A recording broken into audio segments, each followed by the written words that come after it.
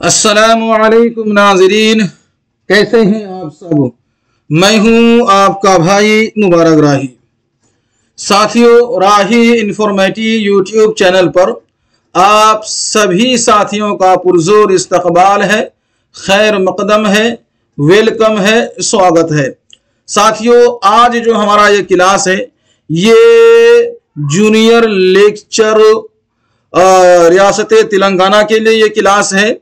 और ऐसे भी ये क्लास सभी उर्दू एग्जामिनेशन के लिए खास हो सकता है, क्योंकि सिलेबस सबका सेम ही रहता है। तेलंगाना स्टेट का सेट एग्ज़ाम हो, या फिर जेल, या फिर टीजीटी, पीजीटी का एग्ज़ाम हो। यानी मेरा कहने का मतलब यह है कि ऑल उर्दू एग्जामिनेशन, चाहे किसी भी स्टेट से आप हैं, आपके लिए एग्ज़ाम खास होने वाला है। साथ ही डेली ये एग्ज़ाम होता है और फुल एक्सप्लेनेशन के साथ एक कराया जाता है। आपके डाउट्स क्लियर किए जाते हैं और जो है कि संडे टू संडे आपके क्वेश्चन भी लिया जाएगा और आपके क्वेश्चन का एनालिसिस भी कराया जाएगा। तो तैयार रहिए, कल संडे है, कल आपका लाइव क्वेश्चन लिया जाएगा और उसका लाइव सॉल्यूशन किया जाएगा। ये T S P S C दो हज़ार तेईस का हम तैयारी कर रहे हैं साथियों। सभी साथी जुड़िए इंशाला आपको फ़ायदा होगा।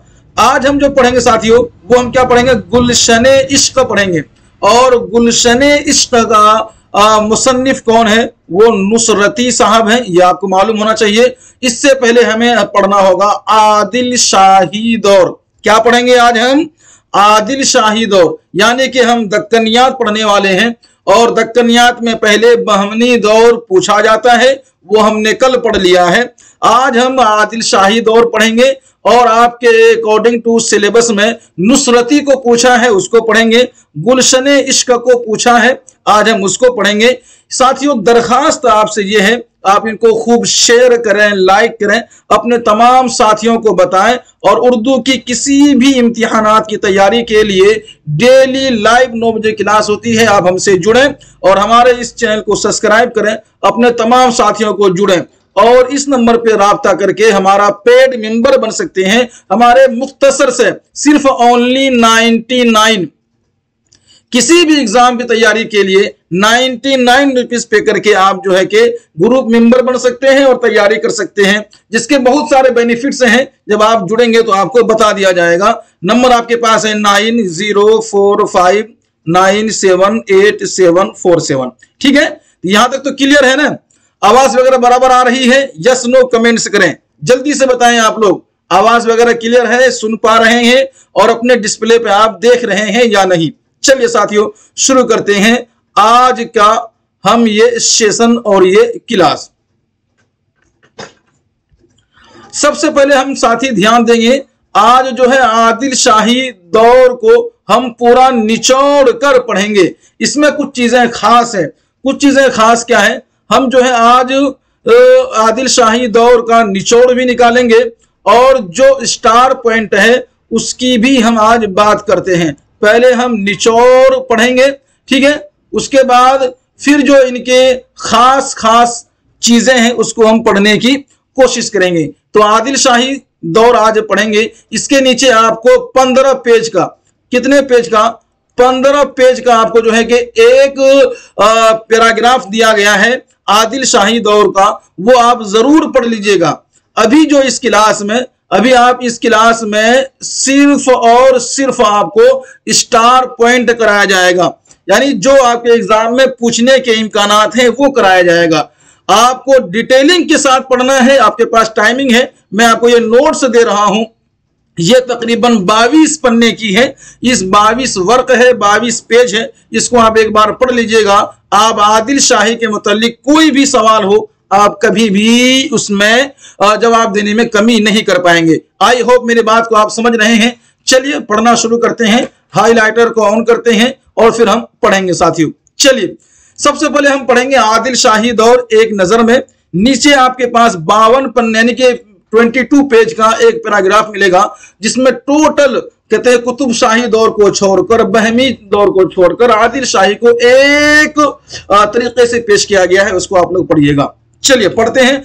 आदिल शाही हुकूमत की बुनियाद अठारह हिजरी में पड़ी है।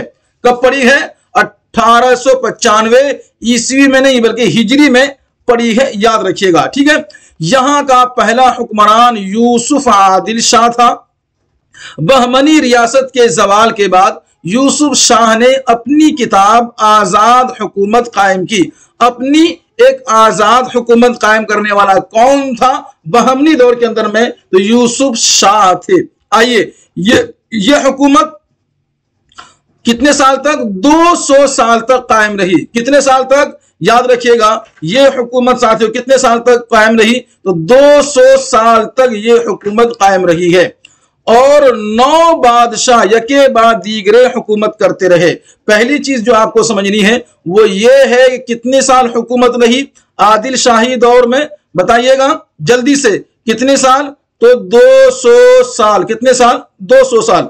ठीक है? उसके बाद एक बाद दीगरे, कितने बादशाह यहाँ बादशाहत करी है? तो नौ बादशाह ने बादशाहत करी है। आपको यहाँ मालूम होना चाहिए 200 साल तक इन्होंने हुकूमत करी है और नौ बादशाह यके बाद दीगरे एक के बाद दूसरे हुकूमत करते रहे हैं। चलिए, आगे बढ़ते हैं। इब्तदाई सदी में, यानी शुरुआत में दक्नी जबान की तरक्की के लिए कुछ खास काम नहीं हुआ और ईरानी असरात, शिया मज़हब और फारसी जबान दक्नी जबान की तरक्की में बड़ी रुकावट बने।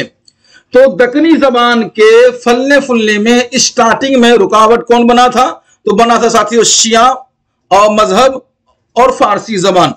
लेकिन आगे क्या कहा जा रहा है? लेकिन इसके बरक्स दौरे आदिल शाही की शाही सरपरस्ती दूसरी सदी में उर्दू अदब की तरक्की में खास अहमियत रखती है। ठीक है? चलिए इब्राहिम इब्राहिम आदिल शाह सानी, उनके जानशीन मोहम्मद आदिल शाह ने इस सिलसिले में दकनी जबान की जानब खसूसी तवज्जो दी। मोहम्मद आदिल शाह के जानशीन अली आदिल शाह सानी ने दकनी को अपनी जबान करार दिया। दकनी को अपनी जबान किसने करार दिया है? तो आपको ये आदिल शाह, अली आदिल शाह याद रखना होगा। ठीक है? चुनाच इस सदी में शाही सरपरस्ती की वजह से अदब में दरबारी रंग पैदा हुआ। चलिए, असनाफ सुखन की बाकायदा तकसीम हुई। कसीदे गजलें कही गई। शायरी का एक आला मैार कायम हुआ। इसके अलावा सूफियाओं ने भी यहाँ की जबान पर गहरे असरात छोड़े। यहाँ जो मोटे मोटे पॉइंट हैं, वो देखने वाली है कि जान सबसे पहले उर्दू की तरक्की के लिए कोशिश किसने करी है? तो आपको याद होना चाहिए यह है अली आदिल शाह। किसने? अली आदिल शाह सानी ने। और इन्होंने इसके आने से क्या हुआ? रंग पैदा हुआ दरबार के अंदर में। और रंग चढ़ा किस तरह से? इन्होंने असनाफ सुखन को बाकायदा तकसीम किया है। इन्होंने गजलें को, कसीदे को और शायरी को एक आला मैार कायम किया है, जिसके बाद सुफिया आते गए और जबान पर गहरी असर पड़ती गई। ठीक है? चलिए। अब यहाँ से जो आपको देखना है, वो आदिल शाही दौर एक नज़र में देखना है और इसको आपको पढ़ना है और कई बार पढ़ना है। ठीक है? यहाँ से आपके स्टार पॉइंट शुरू हो जाता है। यानी वो चीज़ें, वो सवाल जो बार बार पूछे जाते हैं और वो बातें जिसका आना ज़रूरी है, जो आ सकता है। पहला, सलातीन उस्मानिया का शहजादा यूसुफ आदिल शाह ने सन आठ सौ सत्तानवे हिजरी से चौदह सौ नौवद हिजरी में बीजापुर में आदिल शाही सल्तनत की बुनियाद रखी। यह बात समझ में आ गई आपको? आपको यहाँ सन याद रखना, ये चीज़ें पूछी जाती है। सेकंड नंबर याद रखेंगे, शहजादा यूसुफ खान खिताब। शहजादा यूसुफ खान का खिताब क्या था? मुल्क शर्क और आदिल खान था। यह भी याद रखना है आपको। चलिए आदिल शाही सल्तनत तकरीबन 200 बरस कायम रही और इस दरमियान नौ बादशाहों ने हुकूमत की। यह बात मैंने पहले बता दी थी आपको। आगे देखिएगा, आदिल शाही हुकूमत का खात्मा, वहाँ मैंने इब्तदा बताया था और यह इंतहा है। सोलह सो अड़सठ में औरंगज़ेब के हाथों हुआ है। यूसुफ आदिल शाह चौदह सौ नौवद से 1518 को बचपन से, यानी इनका ये कौन है? यूसुफ शाह है। यूसुफ आदिल शाह, इनकी जो मुद्दत है हुकूमत की, हुक्मरानी की जो मुद्दत है, वो चौदह से लेकर के पंद्रह है। इनको बचपन से ही शेर व शायरी का शौक था और वो खुद फारसी में शेर व शायरी करते थे। कौन? यूसुफ आदिल शाह। आगे बढ़ेंगे। चलिए ध्यान दीजिएगा इसको एक बार आप। यूसुफ आदिल शाह का बेटा और आदिल, यूसुफ आदिल शाह का बेटा और आदिल, इनकी हुकूमत कब से है? आदिल शाही सल्तनत का। तो यूसुफ आदिल शाह का बेटा, जिसकी हुकूमत, जिसकी मेयार, जिसकी मुद्दत है, वो 1518 से शुरू होता है। 1534 तक जो है कि ये हुकूमत करते हैं। कौन? यूसुफ आदिल शाह। इनकी शाही सल्तनत का दूसरा फरमा रवा। इस्माइल आदिल शाह था, जो फारसी में अच्छे शायर कहता था और वफाई उनका तखल्लुस था। यह पूछा जा चुका है कि वफाई किसका तखल्लुस है और ये पूछा जा चुका है, ठीक है? जब इसका ऑब्जेक्टिव लगाएँगे, कल शायद कि आपका, जब आपसे क्वेश्चन लिया जाएगा तो ये ऑब्जेक्टिव भी करा दिया जाएगा। कराना आज ही था, लेकिन सोचा कि संडे में कराया जाए, आपके क्वेश्चन भी लिया जाए तो अच्छा रहेगा। चलिए आदिल शाही सल्तनत का पांचवा बादशाह इब्राहिम आदिल शाह सानी अल मारूफ बिही जगत गुरु का दौरे हुकूमत में इल्म अदब और मौसीकी की तरक्की के लिए खास अहमियत रखता है। बस ये वाले याद रखिएगा क्या? जगत गुरु। क्या याद रखना है आपको? जगत गुरु साथियों क्यों कि ये जगत गुरु के बारे में कई बार सवाल पूछा जाता है कि आदिल शाही दौर में जगत गुरु किसे कहा गया है? याद रहेगा ना आपको? जगत गुरु पूछा जाता है। इसी तरीके से यहाँ याद रखिएगा सन इशाद, यूसुफ आदिल शाह का, जो आपको याद रखना है, ये इनकी दौरे हुकूमत आपको याद रखनी है।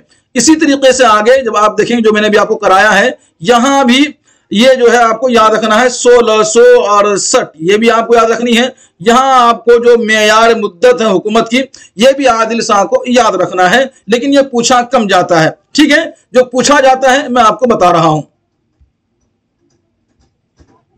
चलिए, अगली देखेंगे साथियों, यहाँ पे क्या है?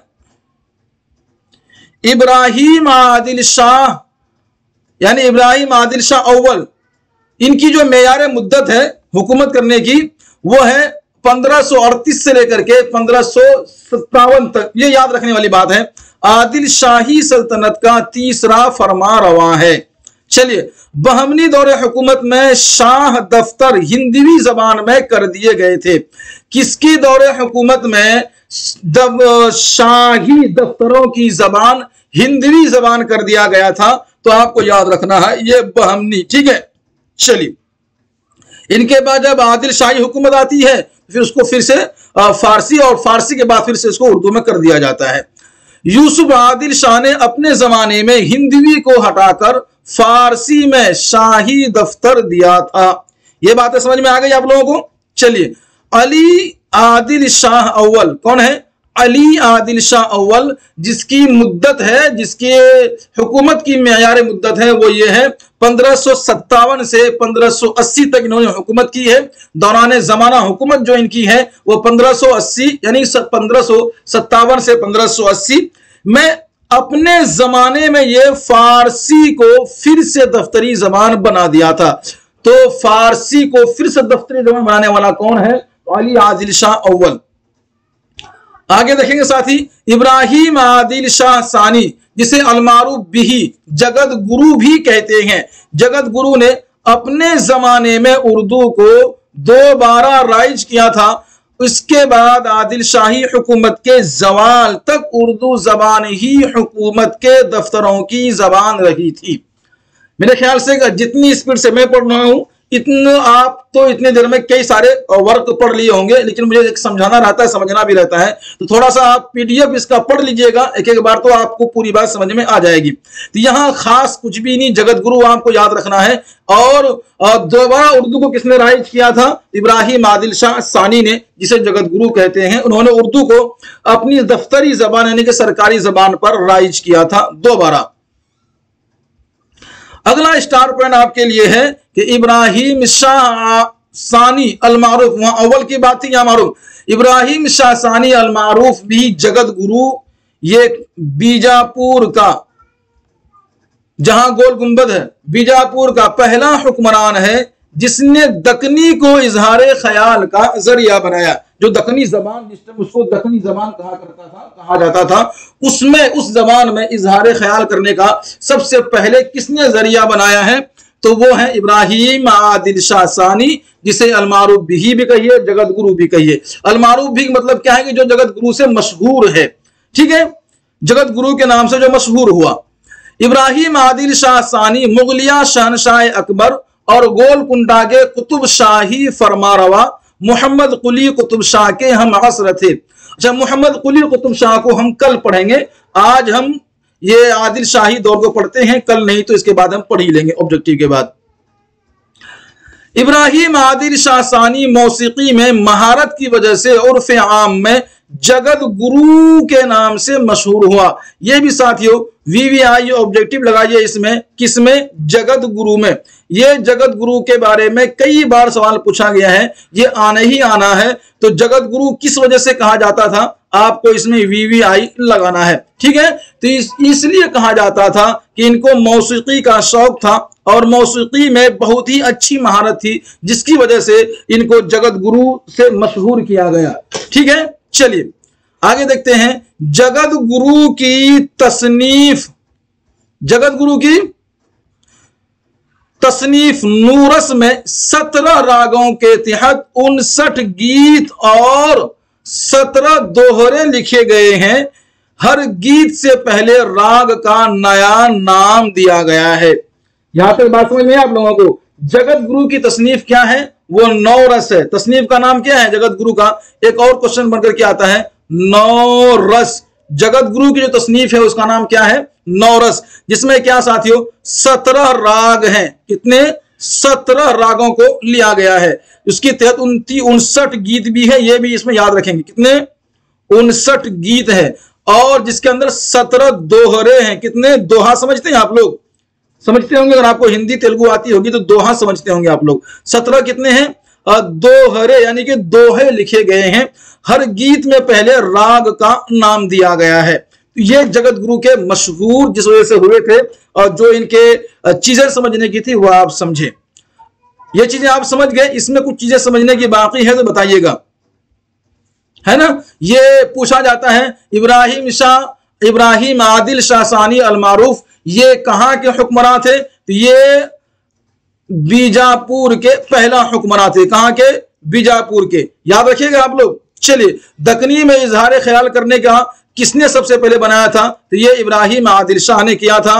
और एक सवाल और पूछा जाता है कि कुली कुतुब शाह के साथी या हम असर हम जमाना आ, कौन है? तो ये याद रखिएगा इब्राहिम आदिल शाह सानी अव्वल नहीं बिल्कुल सानी याद रखिएगा आप लोग। इब्राहिम आदिल शाह सानी। इसी तरीके से अगर आगे देख लेते हैं तो यहाँ भी बिल्कुल वही चीज़ें हैं जो आप समझ लिए। आगे अगर समझाने की बात होगी तो आप जल्दी से कमेंट करें, मैं आपको समझा दूँगा एक बार फिर से। अब पढ़ेंगे साथियों हम किसको? नुसरती को पढ़ेंगे। किसको? नुसरती को पढ़ेंगे। नुसरती आपके सिलेबस में है और यहाँ गुलशन इश्क पूछा गया है इनका। तो सबसे पहले हम नुसरती को पढ़ लेते हैं। फिर उसके बाद नुसरती ने जो जो तसनीफ किया है, उनको पूछते हैं, उनको पढ़ते हैं, समझते हैं। उसके बाद फिर इनके गुलशन इश्क को भी पढ़ेंगे। जाना कहीं नहीं है, जो समझ में नहीं आए, वो आपको पूछना है, भागना आपको नहीं है। ठीक है साथियों? नाम मोहम्मद नुसरत। नुसरती का असल नाम क्या है? मोहम्मद नुसरत। तखल्लुस क्या है? नुसरती। शोहरत जो इनको मिला है, वो मुल्ला नुसरती से मिला है। यहाँ भी एक चीज़ें आपको याद रखने की है। वो क्या है? इनका असल नाम क्या है? इनका असल नाम आपको याद रखना है, मोहम्मद नुसरत। इनका असल नाम मोहम्मद नुसरत है, तखल्लुस इनकी नुसरती है, और जो शोहरत मिला है वह मुल्ला नुसरती के नाम से इनको मिला हुआ है। चलिए, इनके वालिद का नाम शेख मखदूम था, और दादा का शेख मलिक। डॉक्टर सैदा जाफ़र और शमसुल्ला कादरी के मुताबिक नुसरती के आबाओ अजदाद बीजापुर के बाशिंदे बाशिंदे थे। ये सवाल घुमा के पूछा जा सकता है कि ये किसका स्टेटमेंट है कि नुसरती नुसरती के आबाओ अजदाद बीजापुर के थे। तो डॉक्टर शमसुल्ला कादरी, याद रखिएगा आप लोग। ठीक है? आगे बढ़ेंगे। नसरुद्दीन हाशमी नसरुद्दीन हाशमी और लक्ष्मी नारायण, जिनके मुताबिक नुसरती कर्नाटक का बाशिंदा था। दो स्टेटमेंट मिल गया ना आपको यहाँ पे? मिला कि नहीं? दो स्टेटमेंट पहला स्टेटमेंट यहाँ पे क्या है? उनके आबा अजदाद कहाँ के हैं? ये डॉक्टर सैयद जाफ़र और शमसुल्ला कादरी के मुताबिक हैं, जो कहते हैं बीजापुर के हैं। एक नसीरुद्दीन हाशमी और लक्ष्मी नारायण है, जिनका कहना यह है कि ये कर्नाटक के बाशिंदा थे। तो दोनों स्टेटमेंट आप लोग याद रखिएगा। गालिब की तरह साथियों गालिब की तरह नुसरती का भी आबाई पेशा सिपागिरी था। नुसरती की नस्लों नुमा मोहम्मद आदिल शाह के अहद, अब इसकी अहद जमाना देखिएगा, कितना है? दस सौ सैतीस हिजरी से एक हज़ार सैतीस हिजरी से एक हज़ार सड़सठ हिजरी तक। इसकी अगर इंग्लिश में देख लेंगे मुताबिक जिसे कहते हैं, यानी ईस्वी में तो 1626 ईस्वी से लेकर के 1656 ईस्वी में इनकी हुई है। कहाँ पर? मोहम्मद आदिल शाह के अहद में। नुसरती ने बितरतीब, यानी लगातार, एक के बाद दीगरे स्टेप बाय स्टेप, तीन बादशाह। पहला बादशाह कौन है? मोहम्मद आदिल शाह, अली आदिल शाह सानी और सिकंदर आदिल शाह का जमाना देखा था। एक बाद दीगरे, यानी कि तरतीब इन्होंने कितने बादशाह देखे? तीन बादशाह देखे, जिनमें से एक का नाम क्या है आपको मालूम होना चाहिए। क्या है एक का नाम? जल्दी जल्दी कमेंट करें। जिनमें से पहला आपको मालूम होना चाहिए, जिनमें से पहला है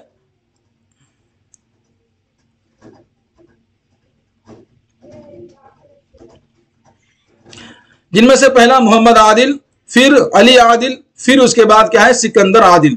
ये चीज़ें आपको याद रहनी चाहिए। ठीक है? चलिए। आगे बढ़ते हैं। नुसरती। क्या साथियों? नुसरती है। नुसरती अली आदिल शाह सानी के बचपन का दोस्त था। नुसरती किसके दोस्त थे? यानी आदिल शाही दौर में नुसरती किसके दोस्त थे? तो पूछा जाएगा अगर ये सवाल तो आपके पास जवाब होना चाहिए अली आदिल शाह सानी की। इसी तरीके से नुसरती या अली आदिल शाह सानी का दरबारी शायर था। आगे देखेंगे साथियों, औरंगज़ेब आलमगीर ने नुसरती को मुल्क शराय हिंद से सरफराज किया था। तो यहाँ एक चीज़ें याद रखना है, मुल्क शरा और शराय हिंद, ये खिताब किसको मिला है? तो नुसरती को मिला है। किसको मिला है? नुसरती को मिला है। और किसके ज़रिया मिला है? औरंगज़ेब आलमगीर के ज़रिए से मिला है, साथियों। ठीक है? और ये कौल किसका है? ये मौलवी अब्दुल हक के मुताबिक, इनके कहने के मुताबिक है। ठीक है? बढ़ेंगे आगे। चलिए, बढ़ते हैं। अगला देखते हैं, साथियों। नुसरती को हासिदों ने कत्ल किया है। नुसरती को कत्ल करने वाला कौन है? तो हासिदों ने हासिदी ने हसद करके उन्हें कत्ल किया है। आगे देखेंगे, नुसरती की जो तारीख वफात, वो पंद्रह सौ एक हज़ार पचासी हिजरी है। तो ये चीज़ें आपको याद होनी चाहिए। यहाँ कुछ मोटी मोटी बात बताने की अगर है तो बोलिए। जल्दी से। कुछ और मैं कमेंट देख रहा हूँ आपकी जल्दी करें। चलिए, कमेंट आपके रुक गए हैं। तो कर पूछते रहा करें, सुनते भी रहा करें और शेयर भी करते रहा करें अपने दोस्तों को, यारों को और अपने फैमिली मेंबर के मोबाइल मोबाइल को उठाइए। और इनको शेयर भी कीजिए और उनको जोड़ने की कोशिश भी कीजिए। बहुत मुख्तसर मामूली से फ़ी दे करके आप हमारा पेड मेंबर बन सकते हैं। और ये सिर्फ़ जो है कि एक हौसला अफजाई के लिए मांगा जा रहा है। मैं आपसे एक बात कह दूँ, आप लोगों का शुक्रिया, जो लोग हमसे जुड़े हुए हैं। इससे पहले मेरे पास जो पेन टेप था, वो खराब हो चुका था। लेकिन अभी आप लोगों ने जो हमें फिर से पेमेंट किया है, यानी कि जो 99 पे किया है, इनके जमा होने से हम फिर से जो है कि एक न्यू पेन टेप ले लिए हैं, जिससे आज हम आपको ये लिख करके बता रहे हैं। तो हम आपके दिए हुए जो भी सहूलत है, जो भी चीज़ें हैं, उनसे हम आप ही के लिए यूज़ कर रहे हैं। आपसे हमें कमाना मकसूद नहीं है, वरना मेहनत के हिसाब से साथियों, ये फ़ी कोई माने नहीं रखता है। आप जेएल की तैयारी कर रहे हैं, पूरे मार्केट में इनका सिलेबस अकॉर्डिंग कोई बुक नहीं है, लेकिन आपकी तैयारी हम करा रहे हैं। याद रखिएगा सिलेबस से हटकर एक चीज़ भी आप नहीं पढ़ पाएँगे। यहाँ इस तरीके से तैयारी होती है इनशाला आगे बढ़िएगा। नुसरती के कारनामे साथ हम यहाँ पढ़ेंगे। तो नुसरती के कारनामे क्या है? नुसरती से तीन मसनवियाँ हैं, जिनका पहला है गुलशन इश्क, फिर है अली नामा, फिर आगे है तारीख अस्कंदरी और एक दीवान है। क्या मालूम हुआ? नुसरती के नुसरती के तीन मसनवियाँ हैं और एक दीवान है, जिन, जिनमें से एक मसनवी है, गुलशन इश्क, दूसरा मसनवी है अली नामा और तीसरा है तारीख अस्कंदरी। तो आपको तारीख अस्कंदरी भी नहीं पढ़नी, आपको अली नामा भी नहीं पढ़ना, आपको गुलशन इश्क पढ़ना है। इनके सवाल आपके एग्ज़ाम में देखे जाएँगे, क्योंकि सिलेबस में आपको गुलशन इश्क दिया हुआ है। ठीक है? आइए। आगे पढ़ते साथियों, यहाँ है तारीख अस्कंदरी का असल नाम फतह नामा बहलूल खान है। ये चीज़ें याद रखिएगा मोटी मोटी पढ़ लीजिए बस इसको। मसनवी तारीख अस्कंदरी दो रोज की जंगी मुहम्मद पर मुश्तमिल है। इसी तरीके से आप पढ़ें आगे, तारीख अस्कंदरी में सिर्फ़ आप पाँच सौ चौवन अशार हैं, इसको सात हिस्सों में तकसीम किया गया है। तो तारीख अस्कंदरी में कितने अशार हैं साथी कितने बताइएगा? जल्दी कमेंट कीजिए, कितने? पाँच सौ चौवन। ठीक है? चलिए आगे बढ़ते हैं। यहाँ देखते साथियों तमाम हिस्सों में बहलूल खान की कामयाबी का ज़िक्र है। नुसरती ने कुल तेरह कसीदे कहे हैं। ए, आ, एक सवाल और आपसे मतलब जाती सवाल है। आप किस तरीके से मार्किंग करके पढ़ना पसंद करेंगे या हाईलाइटर से पढ़ना पसंद करेंगे? अगर आप हाईलाइटर से पढ़ना पसंद करेंगे तो मैं हाईलाइटर से पढ़ा दूँगा। नहीं तो मार्किंग के ज़रिए से भी आप पढ़ सकते हैं, क्योंकि आपके दिए हुए ताउन से आपके लिए पेन टेब हमारा आ चुका है। ठीक है साथियों? चलिए, आगे बढ़ते हैं। आगे साथी क्या है? नुसरती के कसीदों के मदहिया मजामी ऐसे हैं, जो हरबो जरब से मुतल ही शुरू ही में ऐसा लगता है ये कसीदा नहीं, बल्कि रिज्म नामा है। अगला स्टार पॉइंट क्या कहता है? नुसरती के तेरह कसीदे में से सात कसीदा अली नामा में शामिल है। ये बात याद रखिएगा, नुसरती के कितने कसीदे हैं? तो नुसरती के तेरह कसीदे हैं। तेरह में से सात कसीदे जो हैं अली नामा में शामिल किया गया है। यहाँ हा है वो, क्या है? तेरह। चलिए, आगे बढ़ेंगे। अली नामा में शामिल सात कसीदे के अलावा नुसरती का एक नातिया कसीदा मेहराजुलनबी के बारे में भी है। ये लफ्ज कसीदा है। याद रखिएगा, फसाद नहीं है। ठीक है? ये मिस्टेकिंग है। अगला स्टार पॉइंट आपको याद रखना है। नुसरती के कसीदा चरखियात पर भी है। एक कसीदे घोड़े की मजम्मत पर भी है। एक अलग कसीदा अली आदिल शाह की तारीफ़ में भी है। लफ्ज मदह के माने क्या होता है? तारीफ़। तो तारीफ़ अली आदिल शाह की तारीफ़ में नुसरती ने कसीदा लिखा था। ये सवाल पूछा जाता है, आदिल शाही दौर में अली आदिल शाह की मदह में तारीफ़ में कसीदा किसने लिखा है? तो आपको नुसरती याद रखना है। क्या याद रखना है आपको? आपको मुल्ला नुसरती। मुल्ला नुसरती आपको याद रखना है। ठीक है? चलिए। आगे देखते हैं। अगला स्टार पॉइंट कहता है कि मसनवी आली नामा और मसनवी गुलशन इश्क के मंजूम को यकजा करने से दो कसीदे और बन जाते हैं। आज की क्लास लंबी होने वाली है, इसलिए ध्यान दीजिएगा, कहीं जाने की ज़रूरत आपको नहीं है। पूरा जो है कि आदिल शाही दौर को आज हम निचोड़ लेंगे। इसी तरह नुसरती के कुल तेरह कसीदे हुए। तो ये क्या पढ़ा आपने? ये अभी जो हमने पढ़ा है, वो नुसरती के कारनामे। नुसरती के क्या क्या कारनामे हैं? ये सरसरी तौर पे पढ़ लीजिएगा। अकॉर्डिंग टू सिलेबस ये आपसे इतना पूछा नहीं जाएगा। लेकिन अगर पूछ भी लिया तो आप जवाब दे दें, रटना नहीं है, बस एक बार नज़र से फिर लेना है। अब है बहुत ही महत्वपूर्ण टॉपिक जो आपके सिलेबस में है। आपके सिलेबस में क्या है? गुलशन इश्क। है कि नहीं है? आदिल शाही और नुसरती गुलशन इश्क। तो आदिल शाही दौर आपने पढ़ लिया, आपने नुसरती को भी पढ़ा। ये आखिरी जो है, आपको पढ़ना है गुलशन इश्क और ये काफ़ी बड़ा चैप्टर है। ये काफ़ी बड़ा जो है कि चैप्टर है आपका। थोड़ा ध्यान दीजिएगा। चलिए, और यहाँ ध्यान देने वाली बात यह है गुलशन इश्क के जिस गुलशन इश्क का जमाना क्या है और इन किस टाइम लिखी गई थी, क्या इनकी मुद्दत है तो आप ये याद रखिएगा एक हज़ार अड़सठ हिजरी से यानी एक हज़ार अड़सठ हिजरी में ये चीज़ तस्नीफ की गई थी और इसको अगर इंग्लिश में देखा जाए तो सोलह सो सत्तावन में। ठीक है? आगे बढ़ते हैं साथियों। यहाँ आप देखिएगा, मौलवी अब्दुल हक के मुताबिक गुलशन इश्क नुसरती की पहली तसनीफ है।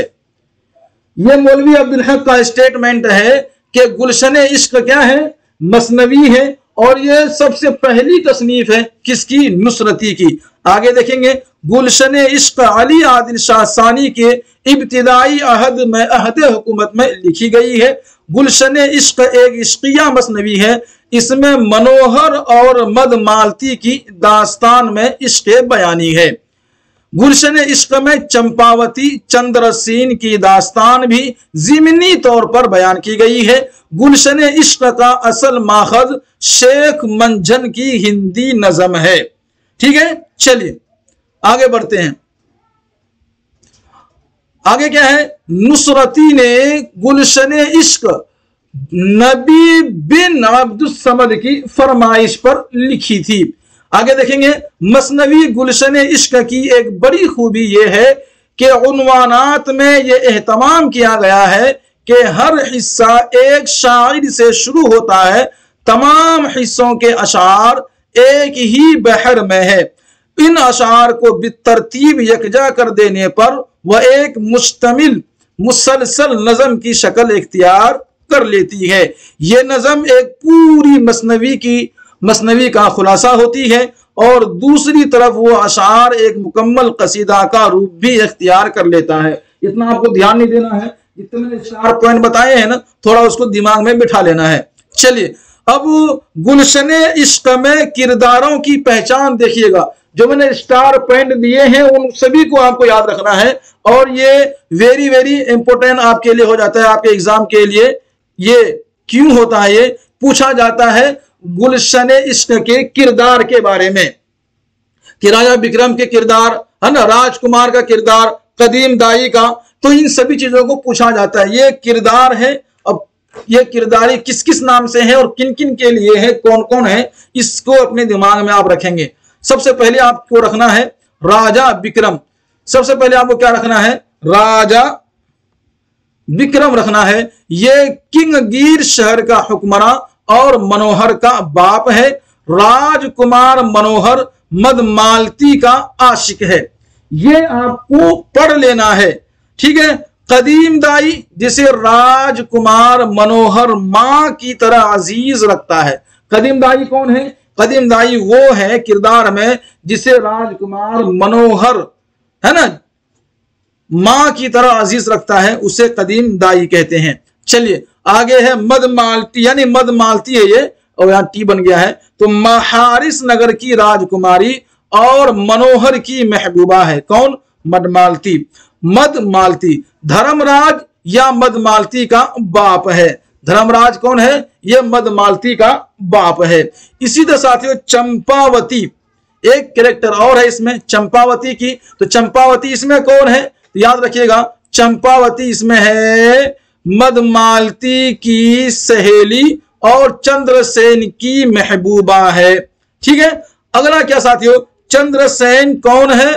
तो जो कंचन नगर की राजकुमारी चंपावती का आशिक है। तो ये चीज़ें आप समझ में आई आप लोगों को?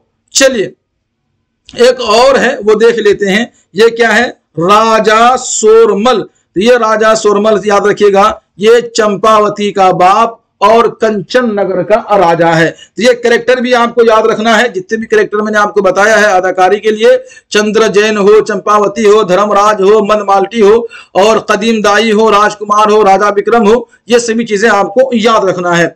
इसी तरीके से जो चीज़ें मैंने आपको यहाँ बताई है, नुसरती के कारनामे, वो याद रखना है। गुलशन इश्क की जो स्टार पॉइंट्स है यहाँ पर, ये चीज़ें आपको याद रखना है। स्टार पॉइंट जो ये है, किसके?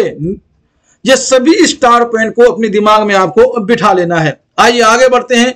यह है गुलशन इश्क का खुलासा, एक बार पढ़ लेते हैं। गुलशन इश्क है क्या? है ना? पढ़ेंगे या नहीं, या फिर छोड़ दें? थक गए हैं आप लोग, बोलिए। पढ़ना है, या फिर आप आराम करेंगे? मैं पीडीएफ दे रहा हूँ 22 पीडीएफ दे रहा हूँ मैं आपको 22 पेज का। आप इस 22 पेज को पढ़ लीजिएगा बारीकी से। ठीक है? ताकि आप एग्ज़ाम सही से लिख सकें, सही से आप जो है कि सही से आप टिक लगा सकें। ठीक है? तो गुलशन इश्क का खुलासा। जल्दी कमेंट कीजिए। चलिए। आइए। पढ़ लेते हैं एक बार। विक्रम नामी एक राजा किंगगीर शहर का हुक्मरान था और वो लावलद था। लावलद समझते हैं, उनको लड़का नहीं था। वलदुन के माने क्या है? लड़का। तो वो बे औलाद था। एक दिन एक फकीर उस घर के दरवाजे से ये कहकर वापस हो गया कि हम माज के घर से भीग मांग लेना नहीं चाहते। यानी हम तुम्हारे घर से भीग लेना नहीं चाहते, क्योंकि तुम माज हो। यानी बाज समझते हैं, बाज उसे कहा जाता है, वो औरत जो बच्चा नहीं जन सकती, उसे बाज कहते हैं। चलिए राजा फकीर की तलाश में निकला और एक वन में परियों की मदद से फकीर की मुलाकात हुई। वन समझते हैं, वन हिंदी में होता है वन, जिसको बोलते हैं जंगल। क्या बोलते हैं जिसको? जिसको बोलते हैं जंगल। याद रहेगा आप लोगों को? जिसको क्या बोलते हैं? जंगल।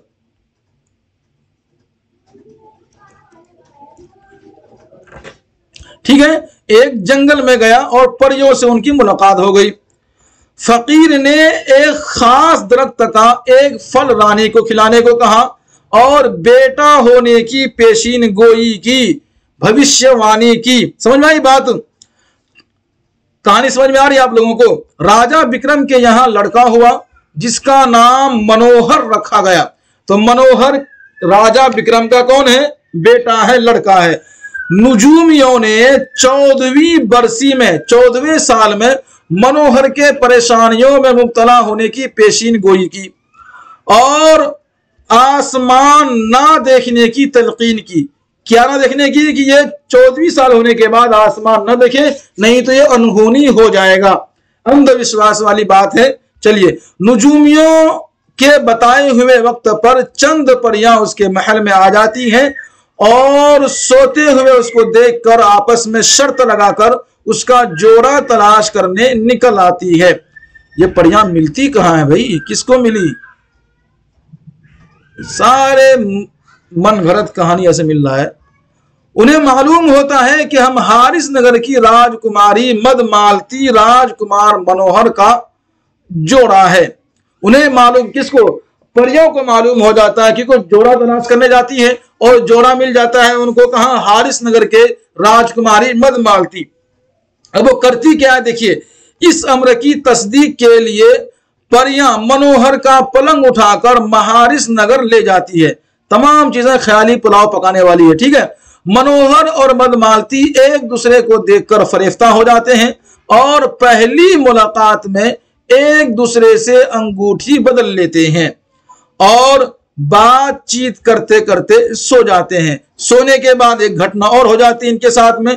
वो घटना ये है तो परिया क्या है? वापस राजकुमार मनोहर को महल में पहुँचा देती है। बंदा सो रहा था। सुबह आँख खुली राजकुमार की। खुलते ही यह अपने महबूबा को ना पाकर सख्त परेशान हुआ और खाना पीना छोड़ दिया और ये फिर वही दीवानी चाल, दीवानी बातें, दीवाने हाल, दीवानी खाल।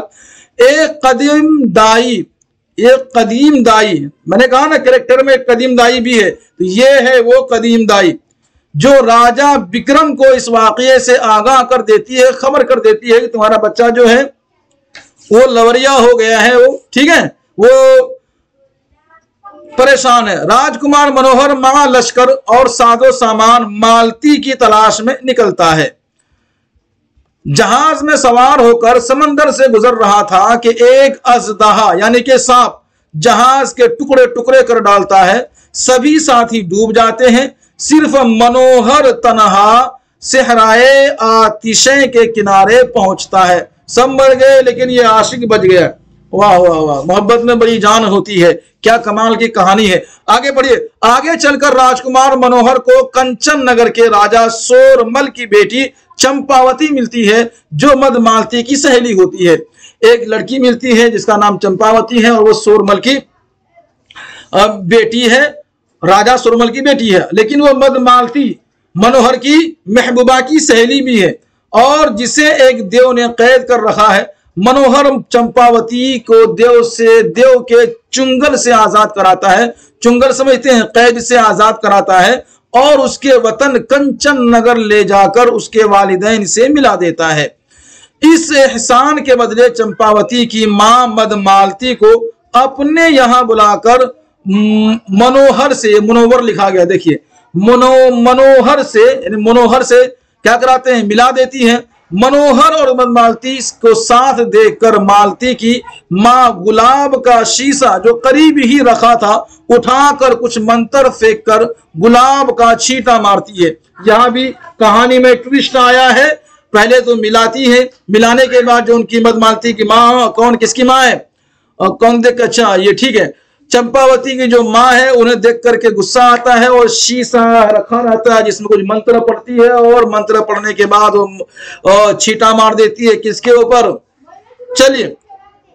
उसके बाद जो है कि फिर वो तोता बन जाती है, जिससे मदमालती तोती बन के उड़ जाती है। मगर काफ़ी कमाल हो जाता है कब के बरसों बाद तोती बनकर वो का जंगलों में फिरती है। फिर एक राजकुमार चंद्र जैन अब इसका देखो यहाँ पे कुमार चंद्र सेन उसे महारिस नगर लाता है। ठीक है? अब यहाँ मसला अलग हो गया। अब ये कहानी की आ, एंडिंग चल रही है और फ़िल्म का दी एन होने वाला है। तोती का जादू उतारता है तोता का जादू उतारता है और वह फिर इंसान बन जाती है।